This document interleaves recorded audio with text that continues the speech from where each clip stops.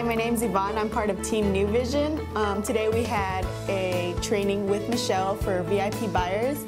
We learned how to do the gift process. We learned how to do VIP buyers benefits, um, how to um, do the VIP buyers benefits at Starbucks and on the property and at the office.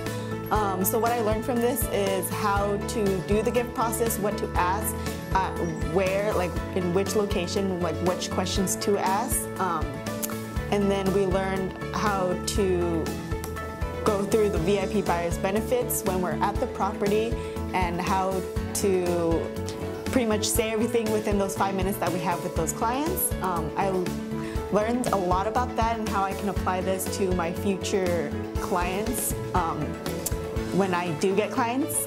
Overall, it was a very good experience and I can't wait to use all the stuff that I learned when I become an agent.